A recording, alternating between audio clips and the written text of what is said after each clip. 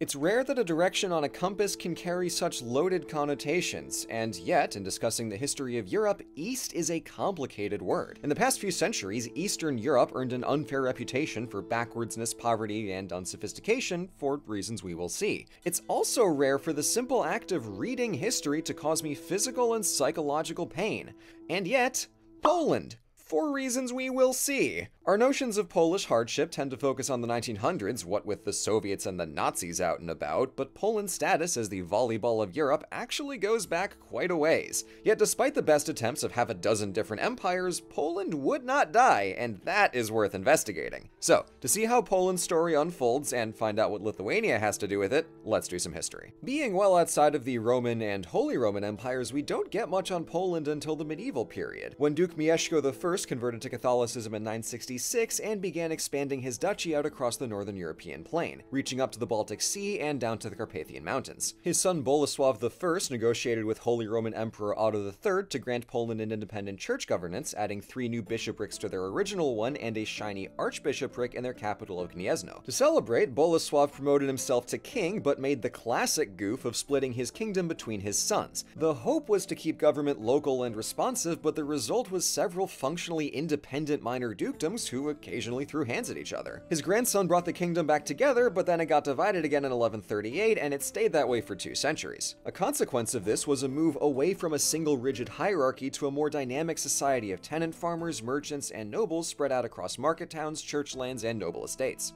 Meanwhile, the crown's relative weakness was an opening for the church to educate, govern, and shape Polish culture. It's at this surprisingly early stage that an idea approximating nationalism appears, as the church at the time was the only major body that transcended local politics, and some clergy vocally advocated for a reunified state under the Polish crown. Hang on to the theme of indivisibility, it comes up later. Another big change came in the form of people, as Germans from the HRE and persecuted Jews came to settle in Poland. In 1264, Bolesław granted Jews personal freedoms and legal protections, which was a major rarity elsewhere in Christendom. And this welcome got a whole lot warmer during the reign of Kazimierz III, who extended Jewish freedoms to the entire kingdom in 1334 and encouraged more Jews to come to Poland. Kazimierz also gets points for codifying laws, issuing a new standard currency, founding the first Polish university, unifying the political machinery of the kingdom, that's a big one, and recouping some of the land lost a century earlier to the Teutonic Knights in the north and the Mongols in the east. The man was busy, and late medieval Poland didn't slow down. After Kazimierz, the crown passed through his sister to her husband Ludwig of Hungary. That wasn't the best match, as he confiscated some Polish territory for Hungary and bribed the nobles with special privileges to let him do what he wanted. But after him, his daughter Jadwiga became Queen of Poland, and she married Grand Duke Jogaila of Lithuania, which bound the Kingdom of Poland to the Duchy of Lithuania in a personal union. Lithuania was very large, but also very pagan, so as part of the marriage deal, Jogaila and his state converted to Christianity. Despite one of history's largest overnight conversions, the two states remained very different, and the Teutonic Knights along the coast saw Lithuania as barbarous pagans, so they tried to invade but lost at the Battle of Grunwald in 1410. In the century after the Union, late medieval Poland saw its first local assemblies of nobles, and in the 1490s, the Szlachta, as they're known in Polish, formed a statewide parliament called the Sejm. By the 1500s, Renaissance arts and ideas made their way north, and when paired with good administration, some nice reforms, and hefty resource exports to Western Europe, Poland was living it up in a golden age. You know Copernicus with the heliocentrism? Yeah, Poland.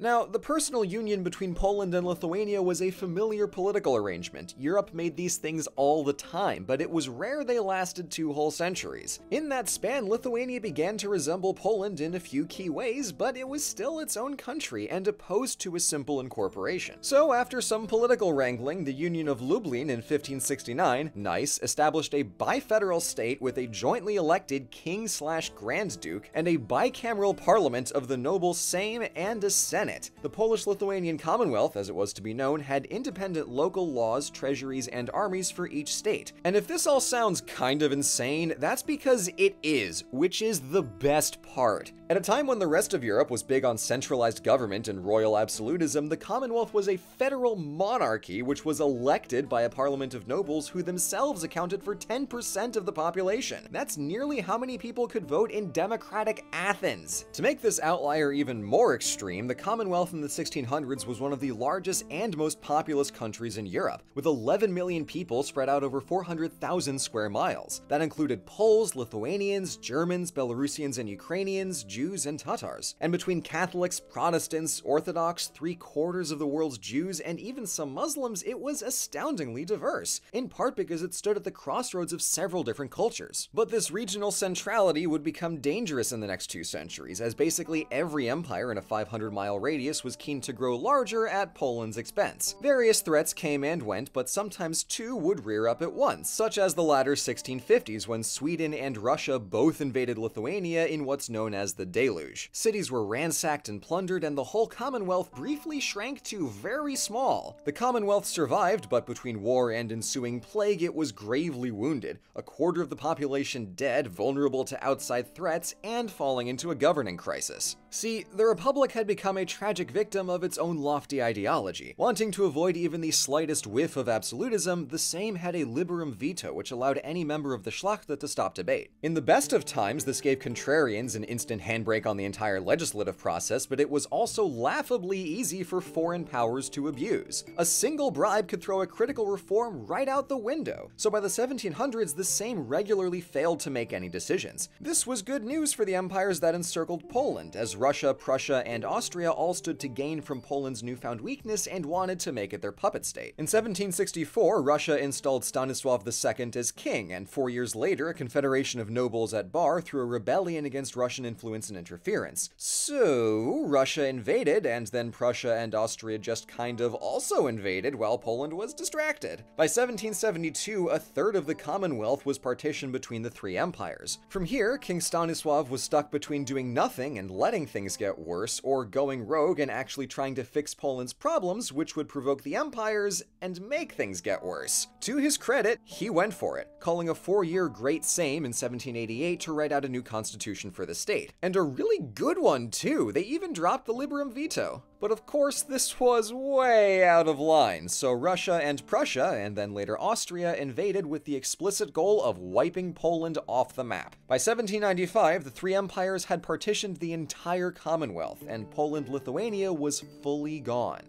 Poof. So, what does one do when an ancestral homeland gets sliced up like a birthday cake? That's a good question.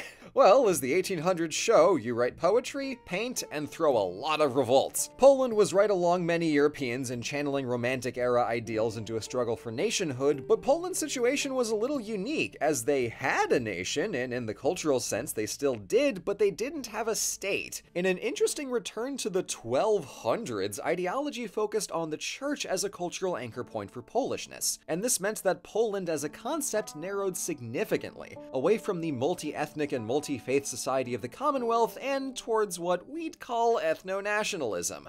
Yikes. Really running with that Catholicism angle, Polish thinkers conceived of their country as the Christ of nations, which died in the partition as a martyr for other nations and would one day re-emerge. I mean, in hindsight, not strictly wrong. Polish life under partition differed between the three empires. After some short lived Napoleonic shenanigans, the Congress Kingdom of Poland existed as a vassal state under the supervision and direct governance of the Russian Empire. Later in the century, it was stripped of what autonomy it had and got fully absorbed into Russia. The situation was a little better in Austria, as the Polish majority province of Galicia was quite poor but decently autonomous, and Galicia became a center of Polish consciousness as the century progressed. By contrast, Prussia, later Germany, had no taste whatsoever for Polish culture, and pushed for Germanization across the whole empire, but onto Poland especially. Germany's slice of Poland gained from the Industrial Revolution, but it was a pretty patchy process overall. And across the board, post hoc justifications for partition relied on harsh stereotypes that have endured to this day. No, no, no, guys, you don't understand. It's not that we're greedy, it's that they're bad and don't deserve to exist